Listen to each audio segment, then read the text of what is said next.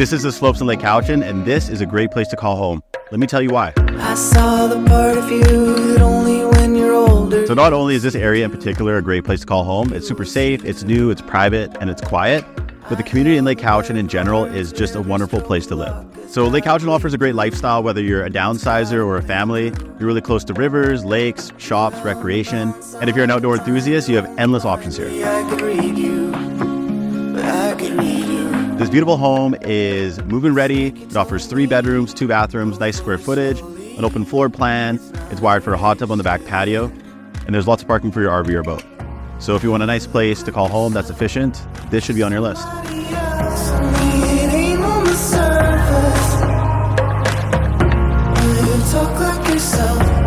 I hear someone